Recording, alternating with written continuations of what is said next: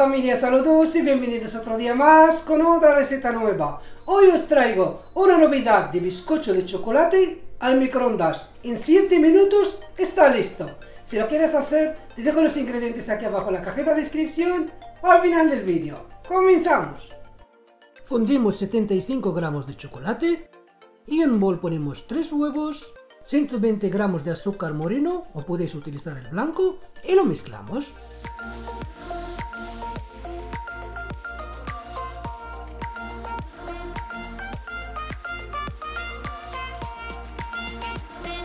Una vez lo tenemos, añadimos 120 ml de aceite, una cucharada de esencia de vainilla, un yogur natural y añadimos el chocolate fundido. Lo mezclamos todo bien.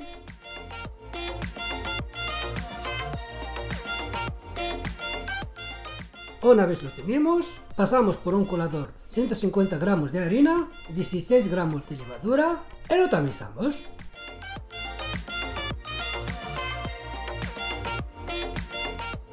Perfecto. Lo mezclamos todo.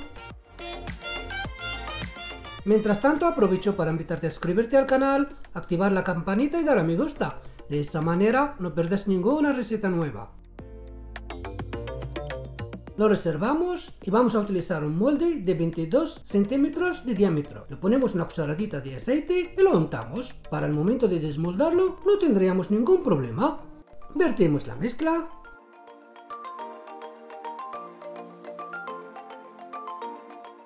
Sacamos el resto con una lengua pastelera porque aquí no se tira nada. Elevamos al microondas a media potencia durante 5 minutos y después a la máxima potencia durante 2 minutos. Pasadas las 7 minutos vamos a hacer la prueba del palillo. Lo metemos y lo miramos. Si está seco del todo, perfecto, está listo. Ponemos un plato y le damos la vuelta. Lo desmoldamos, ponemos otro plato para darle la vuelta y nos queda la cara arriba. Quitamos el plato y así de bonito queda. Ahora vamos a hacerle la cobertura. Vertimos el chocolate, son 150 gramos.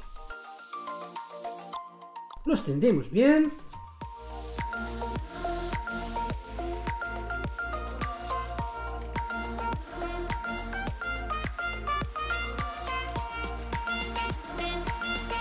Y por el borde vamos a hacer unas lágrimas que queda muy bonito, muy elegante.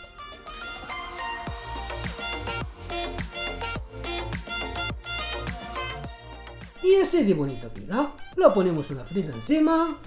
Y ahora os voy a mostrar cómo queda por dentro.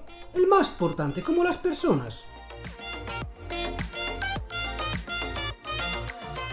Qué esponjoso, qué suave. Mira, mira, mira, mira, mira. Es una delicia. Y ahora llega el mejor momento, por lo menos para mí, probarlo espectacular. Es una pasada. Si te ha gustado la receta de hoy, espero que sí, dale a mi gusta y suscríbete al canal. Con este pequeño gesto me ayudarás a seguir haciendo más vídeos. Hasta la próxima. Chao.